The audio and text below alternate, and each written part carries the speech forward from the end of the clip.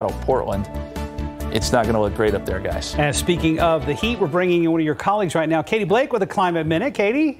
Yes, good morning, guys. Nothing gets me fired up on a Friday like some, some Spurs basketball, Bruce, and a climate minute. Yeah. Winning go. duo here. So, like Justin was saying, big ridge, very strong ridge of high pressure over the Pacific Northwest sets them up for an unprecedented heat event this weekend and even into early next week. And I don't use the word unprecedented lightly. In fact, the National Weather Service in Portland put out this tweet yesterday and they said, quote, our upcoming extreme heat wave this weekend is expected to break several daily, monthly, and possibly all-time records. This is an unprecedented event. Have a plan in place to remain cool. They're using some language for this heat that we use for severe weather. We always tell you to have a severe weather plan. So that's what's going on there. High temperatures all the way from southern Oregon up into northern Washington will approach and exceed 100 degrees Saturday, Sunday, and Monday. And while it might be obvious that this part of the country doesn't normally get this hot, just how odd is this kind of heat there? Well, this time of year,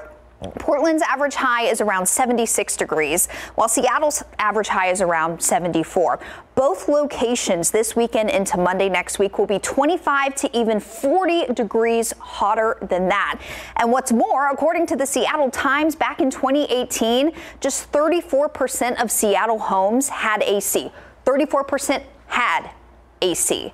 This is just due to the area's overall cooler and wetter climate.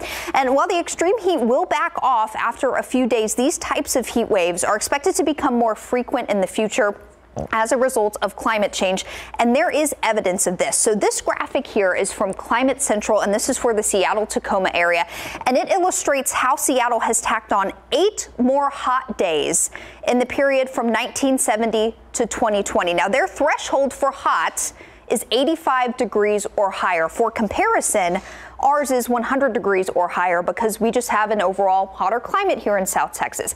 And I know eight days over 30 years might not seem like a lot, but it only takes one heat event like what they're going to deal with this weekend to affect vulnerable populations in an area like the Pacific Northwest that is not well equipped to deal with it. Just remember that lack of AC in a lot of homes there. Before I leave you, let's take a look at how our hot days here in San Antonio have changed over the last 30 years.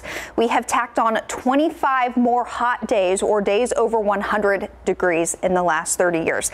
To wrap this all up with a nice bow, essentially extremes in temperatures like what they'll see in the Pacific Northwest this weekend will start to happen more often, slowly becoming less extreme and more average. So that is today's Climate Minute, timely considering that big time heat up in the Pacific Northwest, yeah, guys. No doubt about that. Of course, it's Friday, so I'm looking forward to another rooftop weather segment. We're going to change out of the long sleeves and head up to the roof this afternoon. All right, good luck. Thank you, Kaiti. Have a good weekend, Kaiti.